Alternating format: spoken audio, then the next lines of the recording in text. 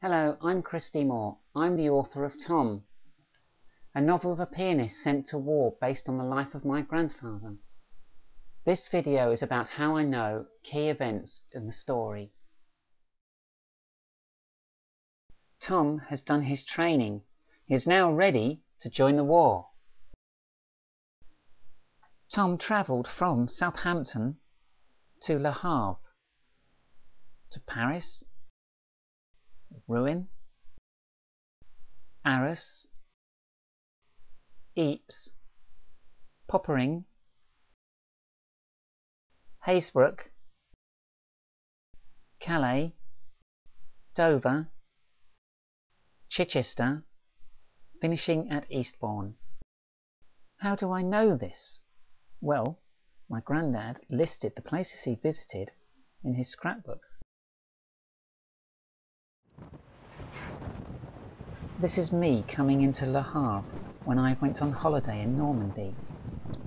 This is where my grandad would have come into, aboard a ship I believe to be the SS Huntscraft. This was a German ship that was captured by the British and converted to a troop carrier. Then to Paris, where he probably would have been prepared to go to the front. I don't know if he went up the Eiffel Tower, but one doesn't go to Paris without going up the tower. Even my mum has been up there. And finally, before actually going to the front, Tom played a concert at Arras, as shown by his scrapbook. Here is Tom in the middle with his army pals, presumably before he went to the front. Unfortunately, there is no date on the photo. Now, Tom may have been around for the Messines Ridge explosion, but I can't be sure.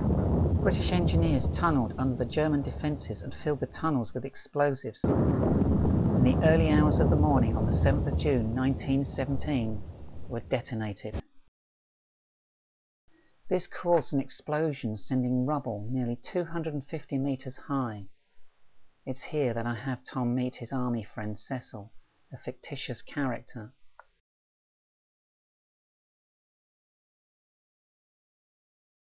Tom and his platoon would have marched through Ypres, the beautiful cloth hall seen here, reduced to rubble during the conflict. The soldiers referred to the town as wipers.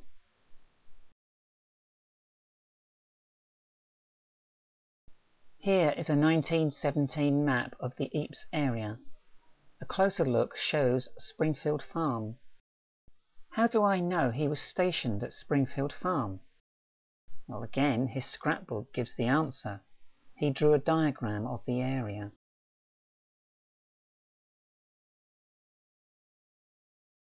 Most new soldiers would have not gone straight to the trench. It is more likely that they and Tom would have been involved in moving supplies just behind the line at Springfield Farm. Usually it was four days out and four days in, so sooner or later Tom would be going to do trench duty. There is something else I need to point out, and that is the British armies at the front in 1917. The Post Office Rifles were officially known as the 8th London Regiment.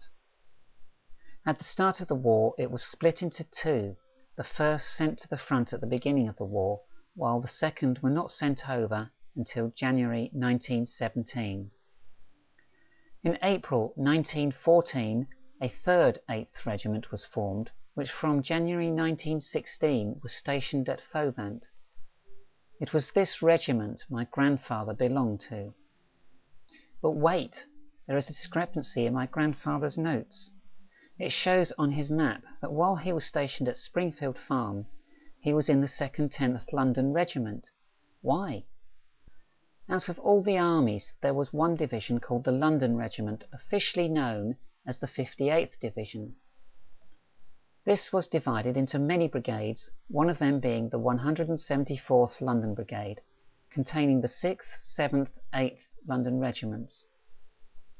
Another was the 175th London Brigade, containing the 9th, 10th, 11th, and 12th London Regiments. My grandfather went to the 10th because the 3rd 8th London was used as not just as a reserve for the 8th Regiment, but for any regiment within the 58th Division. It took me a while to figure this one out. But I wanted Tom to be in the Post Office Rifle in my novel for two reasons. The first being the post office for which he worked for had a regiment at the front. And secondly, I wanted to include this man in the story, Sergeant Knight. He was the only Post Office Rifle to be awarded the Victoria Cross for his bravery at Wurst Farm.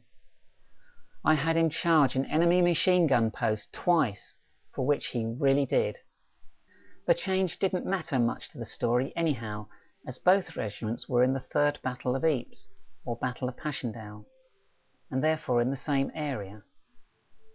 If you enjoyed this video, buy the book Tom from Authorhouse or Amazon, or alternatively go to my website christiemoore.co.uk, which will give you all the links.